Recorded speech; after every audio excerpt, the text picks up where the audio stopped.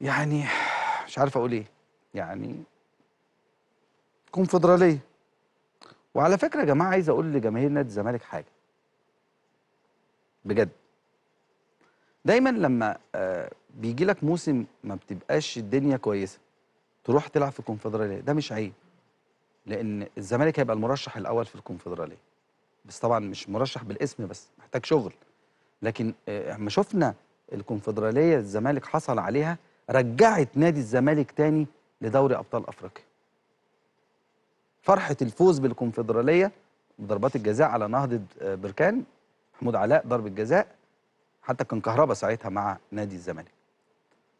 شفنا الزمالك رجع دخل في أجواء أفريقيا مرة تانية. إنما نخش يعني من ناس تقول لك إيه لا عايزين نلعب دوري آه طبعا دوري أبطال أفريقيا يعني محدش قال حاجة يعني.